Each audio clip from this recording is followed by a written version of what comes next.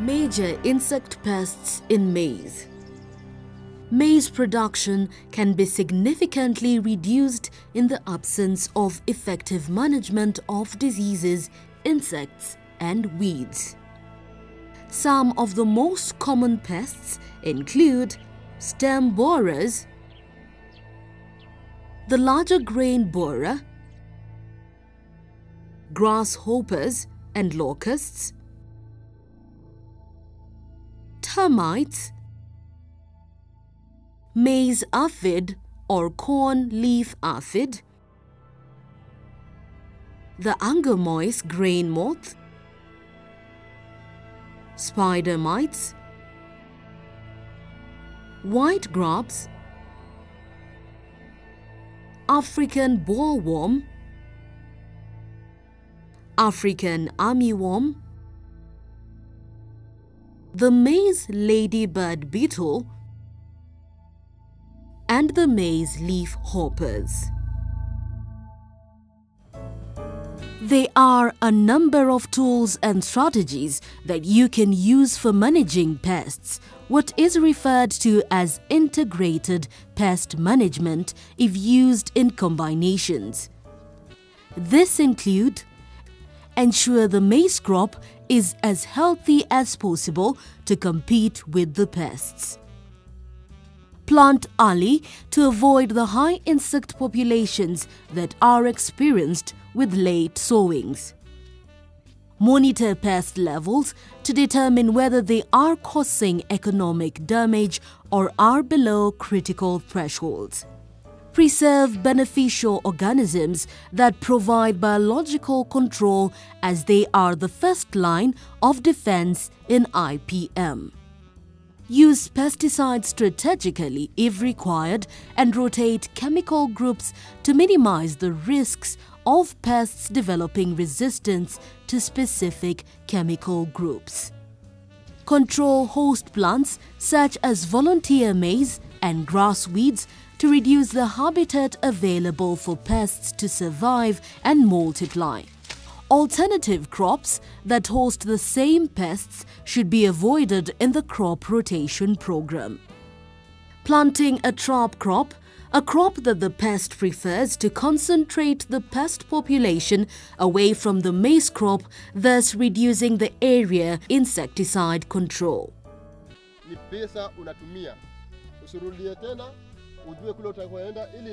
Communicate with neighbors and other farmers in the area to incorporate area-wide management of pests where possible. Select varieties that display good pest resistance. There are some beneficial insects including predators and parasitic wasps that commonly occur in maize crops. Distinguish these insects from maize pests and use them as a tool in integrated pest management. When present in high numbers, this beneficial insect may be effective in controlling pests and preventing yield loss. Remember, maintaining a healthy crop will give you an advantage because your crop will effectively compete with the pest.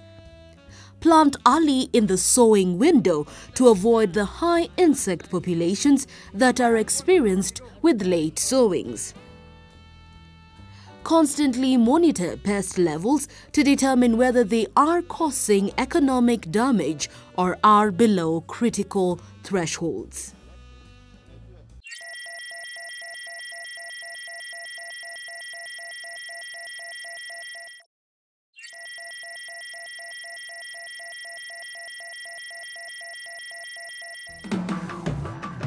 Major maize diseases.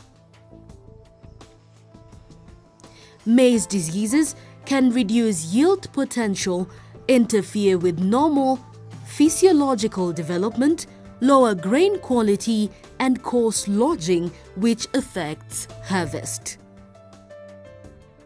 The occurrence and impact of a disease depends on a number of factors such as climatic conditions, the health, abundance, and varietal resistance of the host plant. It is important to identify diseases in order to implement management strategies during the season and for subsequent crops.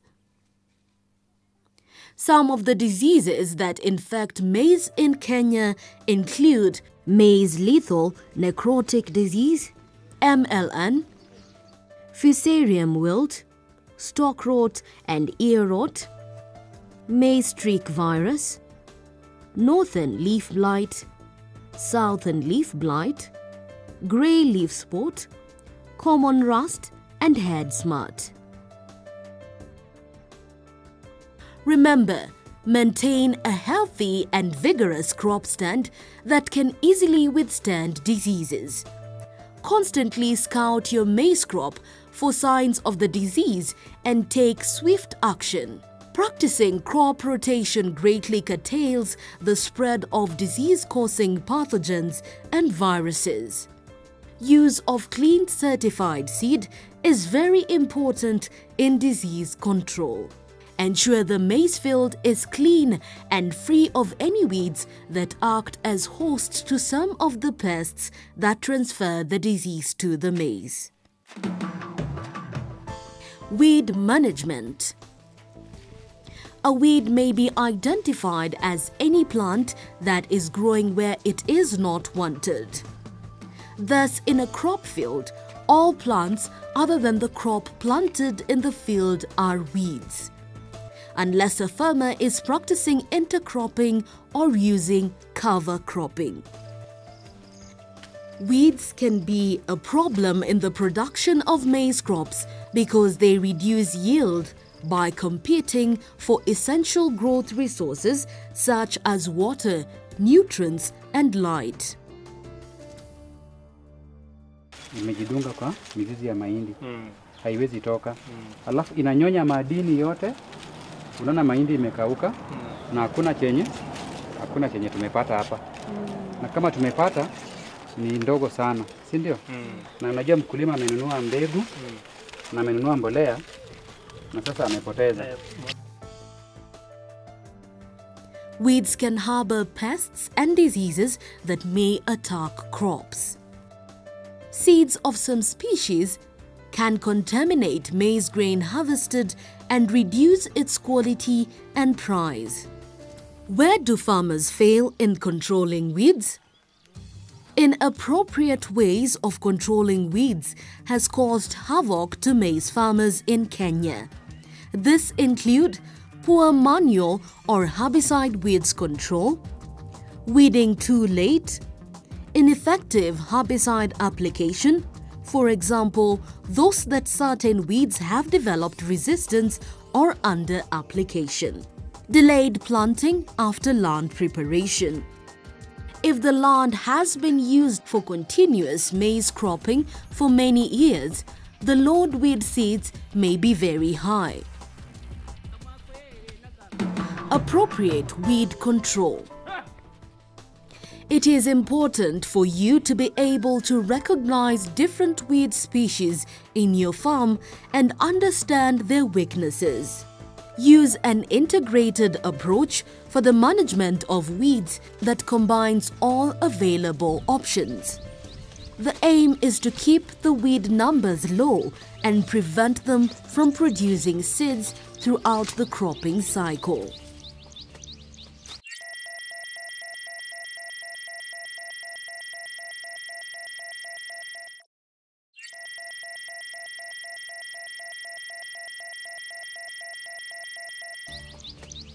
Baada ya kupiga dawa ya kwanza, tuoteshe mahindi, itamea.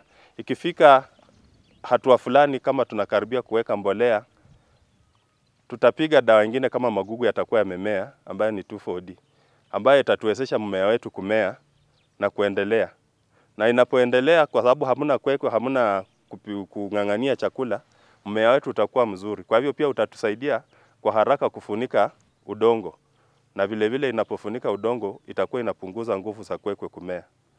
Na yakifika kiwango fulani ambacho tunajua sasa kwe, tukipiga dawa haiwezi kusumbua mmea, kama inakaribia kuanza kuweka ama imeweka tunakaribia kuvuna, tuna dawa pia ambayo tukipiga kwa hiyo shamba itaua mimea yote ambayo haitajiki kwa shamba ambayo iko chini ya mahindi, na hapo itawacha shamba letu likiwa safi na mahindi yetu ita, itaendelea kufurahia kwa sababu haitakuwa na changamoto ya kwekwe.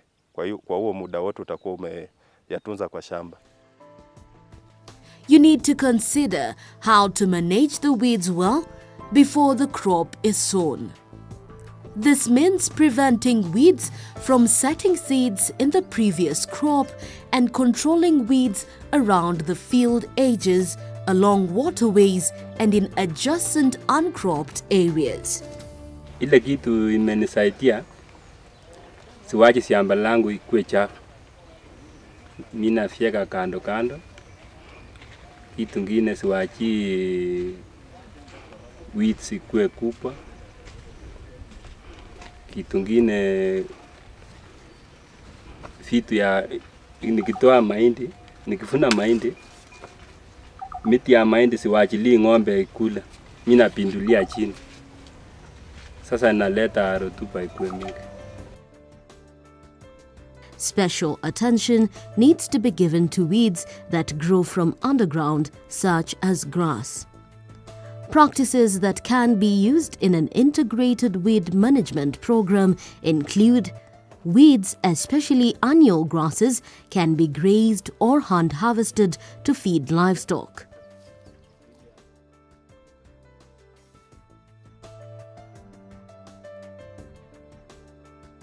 Make sure the crop seed used for sowing is clean and free of weed seeds and has a high germination percentage. Timely weed control, either by cultivation or by using herbicide, has served the dual purpose of killing weeds. Application of herbicide such as glyphosate controls the weeds without loss of soil moisture. Cultivation is also less effective in controlling weeds when the soil is wet. Farmers must follow label directions when using herbicides. The other thing that you must ensure is to make sure that this fertilizer you have applied is not used by the weeds. So you must also take care of weed control. You need good weed control in the first month to take care of the uh, phosphatic fertilizer. Here we can either use DAP, which is diammonium phosphate, or single superphosphates. And once you do that, then you get the seeds growing healthily, and then later you will also control weeds when it comes to top dressing. In a nutshell, you must keep the plant very happy throughout its life. It means from germination up to harvesting. If the plant is happy, it will give you good yield and you will also be happy. If you don't do that, the crop, when the crop is not happy, you will also not be happy.